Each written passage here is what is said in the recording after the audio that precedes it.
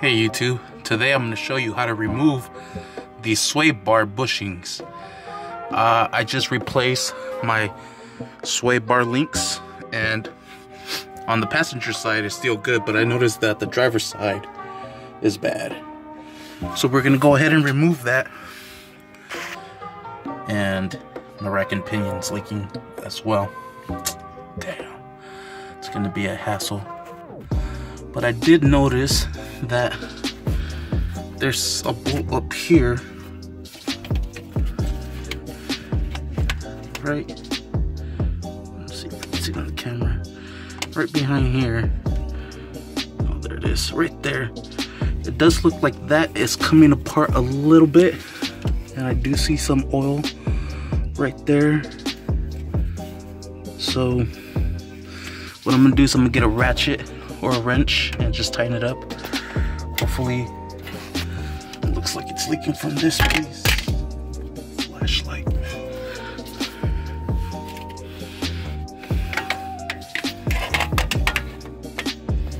From right here.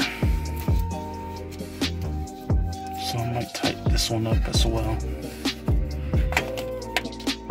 But it looks like that's where we might have be having our leakage from here and from there. So maybe if I tie these down, it might help. What I'm gonna do is I'm gonna wash this off later and tighten those down and see if that works.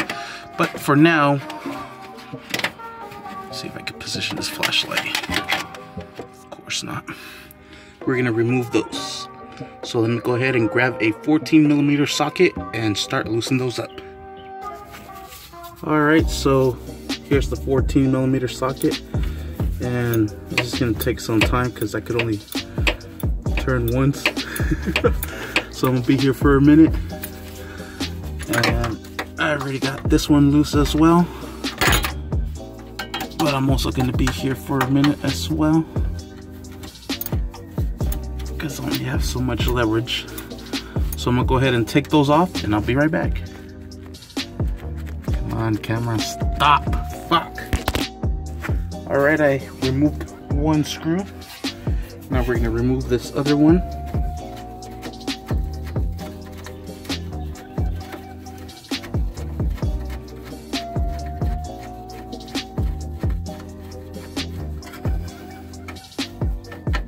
All right, there it is. There's the second one. Here comes the bracket. Is the bushing. All right, and that's how you remove the bushing. You can tell it's all worn out. It's nice and flat versus the other one. Holy smokes, that looks tiny. Well, as long as the motherfucker fits, I guess. Damn, that shit's tiny as fuck. I hope they got me the right ones, man. Fucking AutoZone. Always fucking shit up. Let me see. Well, before we install that, go ahead and fill it up with grease. Alright, so I just grabbed some bearing grease. And we're just gonna grease it all up. Grease everything up.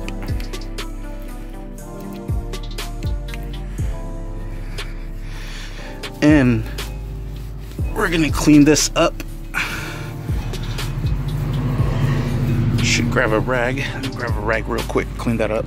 Alright, so I put the bracket on it. It looks like it fucking fits. It's perfect. Maybe that motherfucker's just hella stretched out already. I guess. I don't know. Anyhow, we're gonna go ahead and slap this back inside. So we're gonna put it the exact same way we took it out.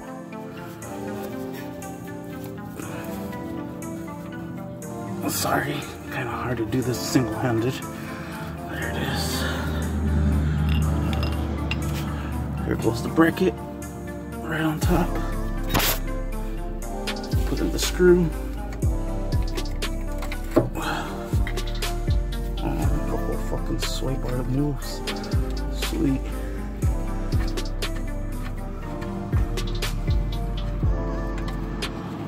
There goes that one.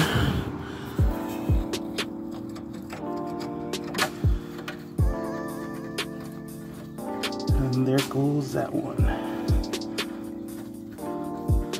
All right, now what we're gonna do is just screw them all the way down and secure them.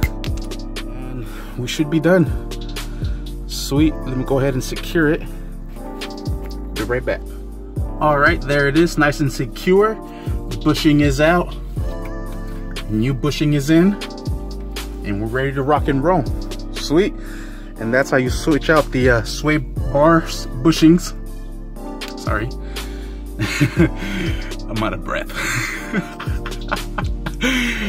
Man, I'm old and fat.